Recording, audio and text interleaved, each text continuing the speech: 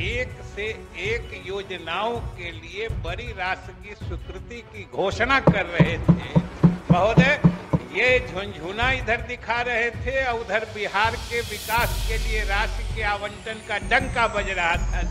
दिल्ली के संसद में, महोदय। और आज हमने अभी कहा था प्रधानमंत्री नरेंद्र मोदी और केंद्र सरकार को और सीएम नीतीश कुमार को हम धन्यवाद करना चाहते हैं। इस बार जिस तरीके से बजट को पेश किया गया है और उस बजट में बिहार को जितना तवज्जो दिया गया है, आज से पहले किसी भी बजट में इतना बिहार को तवज्जो नहीं दिया गया था।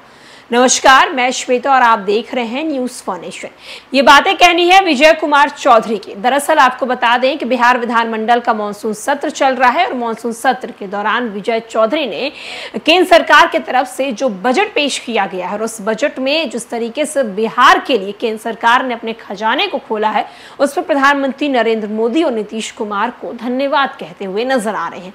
विजय चौधरी कह रहे हैं कि हम प्रधानमंत्री नरेंद्र मोदी और नीतीश कुमार का शुक्रिया करते हैं। हैं, क्योंकि इस बार बजट में जो उन्होंने बिहार के लिए किया है, जो बिहार को दिया है, आज से पहले किसी भी बजट में इतना बिहार के लिए नहीं किया गया था। क्या कुछ बोल रहे हैं संसद में? चलिए हम आपको सुनवाते हैं विजय चौधरी की पूरी बातों को।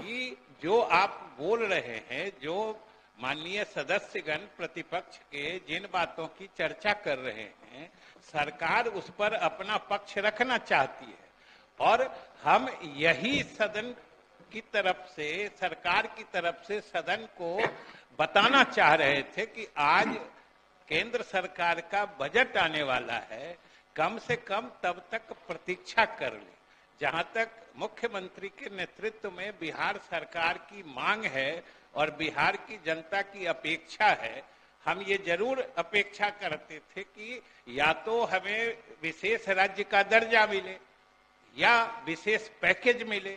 या विशेष मदद मिले, क्योंकि महोदय देखिएगा तो तीनों का अंत में अर्थ एक ही होता है, कि बिहार के विकास के लिए अलग से कर्णांकित राशि बिहार सरकार को दी जाए।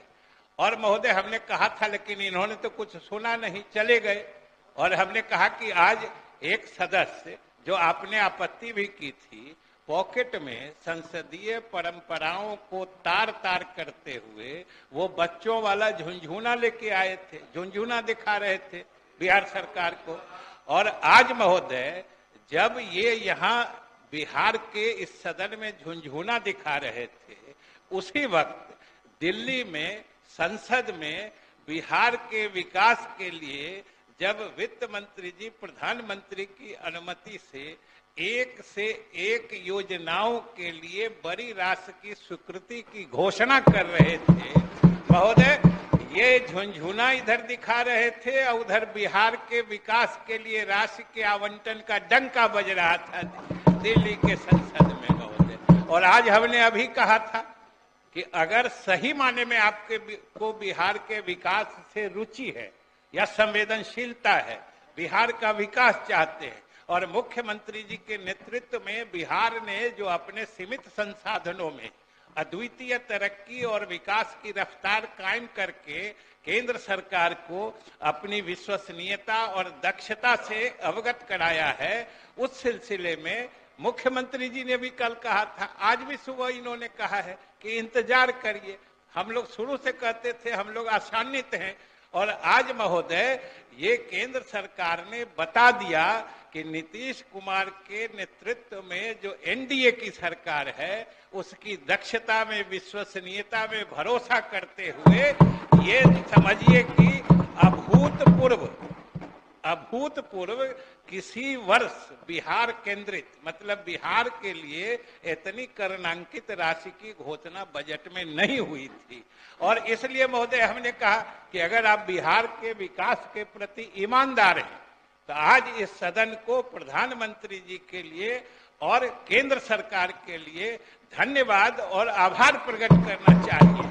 और महोदय, हम लोग ने तो कहा है कि आज ये भले देखिए बिहार के विकास से इनको क्या मतलब है कि जब हमने बिहार के विकास के लिए जो योजनाएँ आई हैं जिसकी स्वीकृति या जिसको क्रियान्वयन के, के लिए केंद्र सरकार ने घोषणा की है उसके बारे में कहिए तो इनको पचा नहीं बिल्कुल नहीं पचा।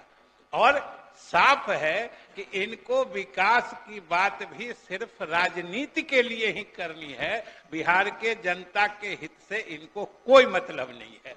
और आज बिहार की जनता इस बात को देख रही होगी।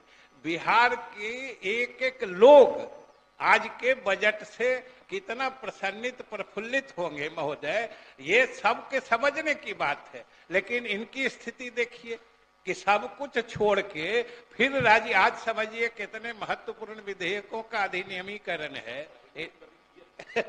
और वो सुबह में महोदय हमने कहा था आपके माध्यम से हमने कहा था कि आज ये लोग बिहार के विकास और विशेष दर्जे का घड़ियाली आँसू जो बहा रहे हैं, कि सबसे पहले, महोदय, सबसे दुखद बात यही है कि सबसे पहले मुख्यमंत्री जी के नेतृत्व में बिहार को जब विशेष दर्जे की, राज्य की श्रेणी में लाने की मांग उठी थी तो सबसे पहले उसको उसी यूपीए सरकार ने खारिज किया था जिसमें ये सभी सदस्य थे।